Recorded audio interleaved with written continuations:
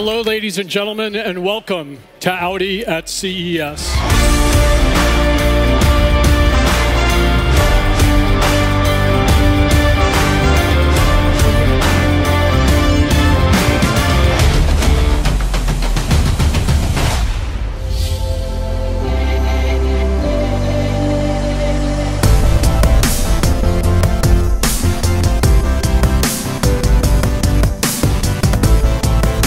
I think the show is packed with technology, and that's really at the heart of what it can provide to the customer. So when we think about uh, the customer driving the vehicle and experiencing the vehicle, really that experience is being brought to you through the car, through Audi.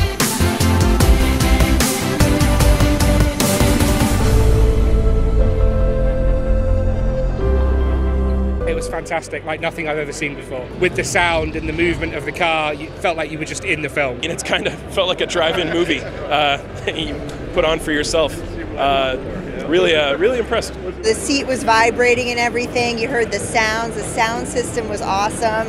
You felt like you were in the movie. I didn't want it to end. It was awesome. It's just like, uh, you know, rides that I've been in at amusement parks, but it was in a car.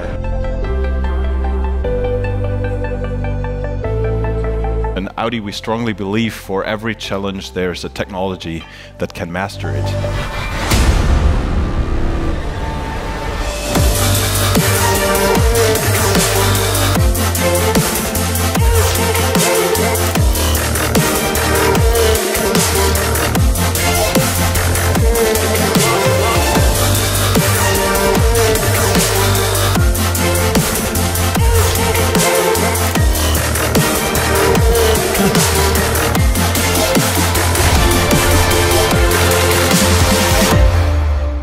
Wow, cool. It was amazing. It was great. I'm so excited. Nochmal. the next level, great. That was amazing. Can we go again? It was so entertaining and such a different experience that I think consumers will absolutely love. We combined the driving physics of the car with extended reality or virtual reality technology. We bring some kind of the, the theme park into the car. We're planning within the next three years that our customers can experience this. Thumbs up, guys. Ah, it's a very impressive space.